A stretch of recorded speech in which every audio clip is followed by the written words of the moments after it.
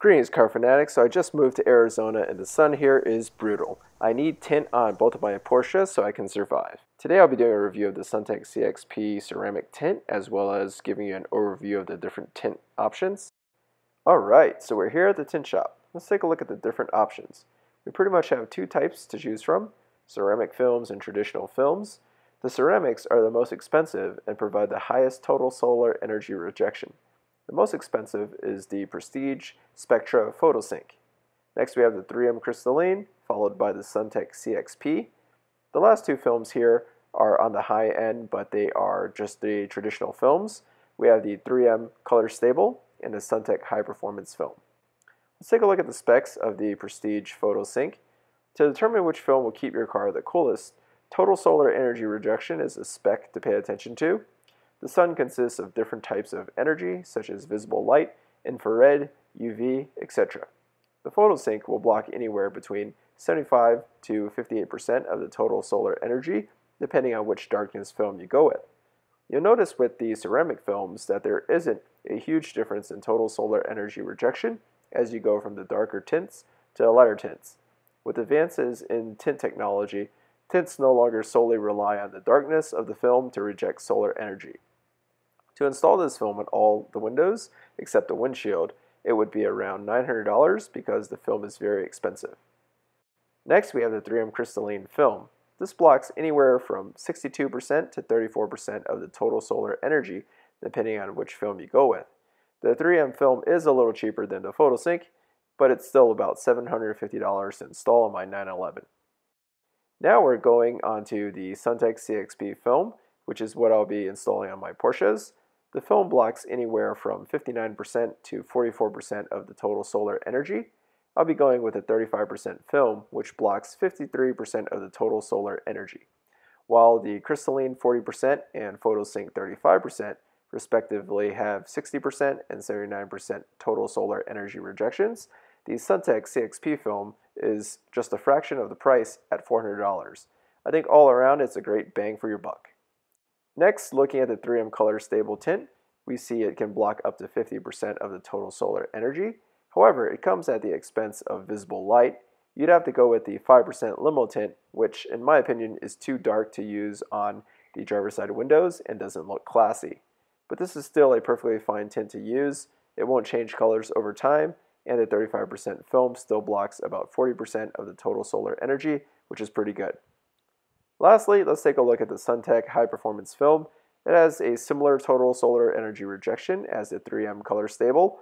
The 35% film is rated to a 49% total solar energy rejection, which is better than the 3M Color Stable. For either the 3M Color Stable or Suntek High Performance films, we're looking at about $250 to have them installed on the car. Okay, after a full day, my tint is done on my 911 and the Cayenne. So far, I really like the 35% film. It's not too dark and matches the wheels nicely. On the Cayenne, the 35% tint looks really good. The front windows seem to match the back pretty well, even though the back has privacy glass from the factory. Alright, car fanatics, so I'm in the Cayenne with the tint. I don't actually have the AC running. Looking at my gauge, it's showing it's 102 degrees outside, and it is around 2 p.m., so the sun is almost directly on top. Uh, we do have a lot of uh, sun, you know, coming through the front windshield, but surprisingly, the car isn't too warm. It's not heating up nearly as quickly, and I feel um, I don't really feel like the heat is burning me through these side windows. Um, so I think the tint is doing a good job blocking a lot of the solar ener energy coming in. And now I'm just gonna turn back on the AC, and I noticed with the AC on that the car um, just immediately gets a little bit cooler quicker and while driving the car, you know, the AC doesn't seem like it has to work as hard.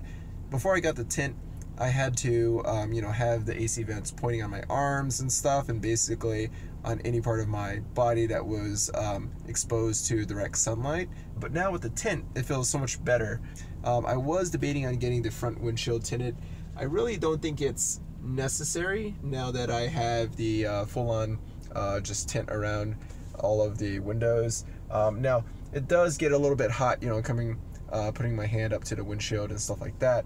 but for the most part, that heat is just bouncing off the dashboard and not directly on me. So it's not a huge deal and wasn't, um, you know, worth the extra 250 bucks. Let's go ahead and just take a look at the darkness. So in the back, um, you know, plenty of light is going through despite um, adding 35% tint on top of the factory, factory smoked privacy glass. The um, factory privacy glass metered at right around 33%. So with the 33% factory glass and then the additional 35% tint on the back, you're looking at about 10% of the visible light coming through. And as you can see, um, with the strong sun here in Arizona, um, there is still plenty of visibility during the daytime. I did drive the car yesterday at night. It's a little on the dark side, but super manageable. As long as you know the cars have their headlights on, you won't really have any issues. And the side windows are actually really good too. So this is just straight up about 33%, and it feels good. Um, it looks good. I think from the outside, it looks pretty uniform. Now, let's go ahead and take a look at one gripe I had with the installation.